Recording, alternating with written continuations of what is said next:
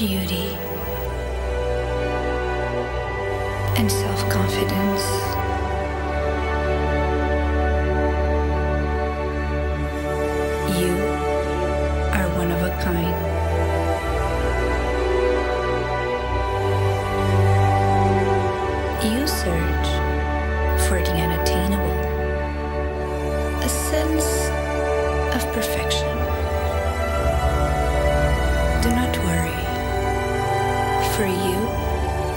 Truly blessed.